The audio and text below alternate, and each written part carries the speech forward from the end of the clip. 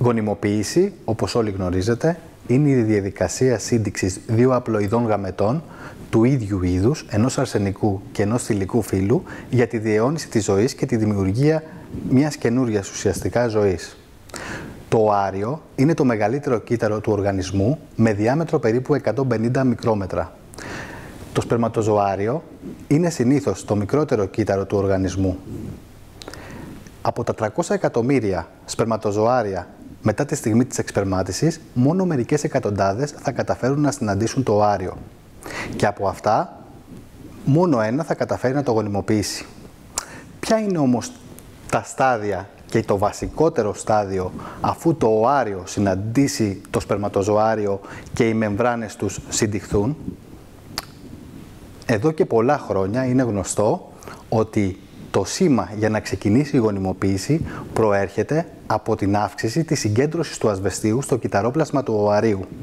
Στα μη θηλαστικά είδη όπως ο βάτραχος ή ο αχινός, μία απλή αύξηση στη συγκέντρωση του ενδοκυτάρου ασβεστίου είναι ικανή για να ξεκινήσει τη γονιμοποίηση. Στα θηλαστικά όμως, η μορφή αυτή έχει τη μορφή των ταλαντώσεων ασβεστίου.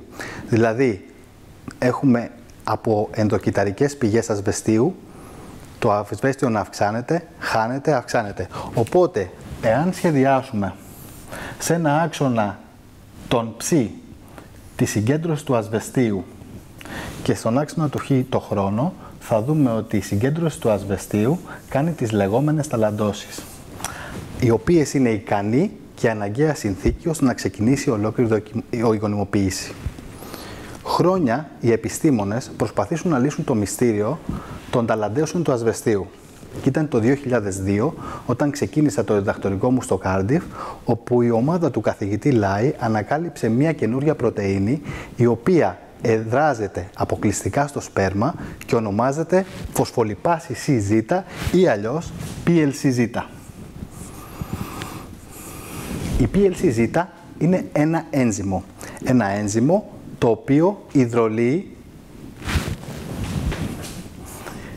τη διφωσφορική ινοσιτόλη, ένα φωσφοϊνοσιτίδιο και δίνει δύο δεύτερα μηνύματα, διασυγλικερόλη και τριφωσφορική ινοσιτόλη. Η τριφωσφορική ινοσιτόλη είναι το μήνυμα το οποίο θα ξεκινήσει τη θαλαντώσας βεστίου. Η τριφωσφορική ινοσιτόλη θα ενωθεί στον υποδοχέα της τριφωσφορικής ινοσιτόλης στο εντοπλασματικό δίκτυο θα αλλάξει τη στεροχημική της διαμόρφωση με αποτέλεσμα να έχουμε την έκκληση ασβεστίου από ενδοκυταρικές πηγές. Τα τελευταία χρόνια μελετάμε εκτενώς τη φωσφολιπάση συζήτα και μάλιστα μελέτες από κλινικές μελέτες έχουν δείξει ότι οι ασθενείς με ελλειπής φωσφολιπάση ζήτα στο σπέρμα τους ή με μεταλλαγμένες μορφές δεν μπορούν να αποκτήσουν παιδί.